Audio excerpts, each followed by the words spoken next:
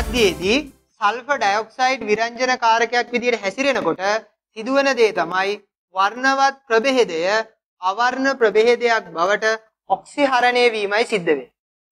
එතකොට මේ වර්ණවත් ප්‍රභේදය අවර්ණ ප්‍රභේදය බවට ඔක්සිහරණය උනේ සල්ෆර් ඩයොක්සයිඩ් නිසා. එතකොට සල්ෆර් ඩයොක්සයිඩ් හැසිරෙන්නේ ඔක්සිහාරකයේ විදිහට.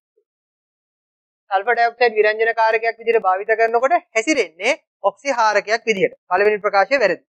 ජලීය මාධ්‍යයේදී ක්ලෝරීන් විරංජන කාරකයක් විදිහට හැසිරෙනවා. ඒ කොහොමද?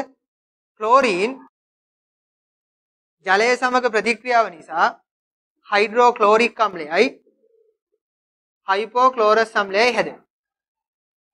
මේ හැදෙන හයිපෝක්ලෝරස් අම්ලයෙන් පරමාණුක ඔක්සිජන් නිදහස් වෙනවා. ඒ පරමාණුක ඔක්සිජන් වලට පුළුවන් වර්ණවත් ප්‍රභේද අවර්ණ ප්‍රභේද බවට ඔක්සිකරණය කරන්න. එතකොට මේ ආකාරයටම ඕසෝන් වලටයි හයිඩ්‍රජන් පෙරොක්සයිඩ් වලට විරංජනකාරක විදිහට හැසිරෙන්න පුළුවන්. ඒකට හේතුව ඕසෝන් වලින් සහ හයිඩ්‍රජන් පෙරොක්සයිඩ් වලිමුත් පරමාණුක ඔක්සිජන් හැදෙන්න පුළුවන්. පරමාණුක ඔක්සිජන් වලින් විරංජනේ සිදු වෙනකොට සිද්ධ වෙන්නේ ඔක්සිකරණය. සල්ෆර් ඩයොක්සයිඩ් වලින් විරංජනේ සිදු වෙනකොට සිද්ධ වෙන්නේ ඔක්සිහරණය. ඒ නිසා විරංජනය සාමාන්‍යයෙන් ඔක්සිකරණයක් වේ කියන එක වැරදි.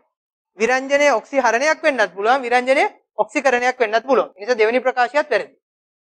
පළවෙනි ප්‍රකාශයත් වැරදි දෙවෙනි ප්‍රකාශයත් වැරදි. ඒ නිසා නිවැරදි පිළිතුර අංක 5.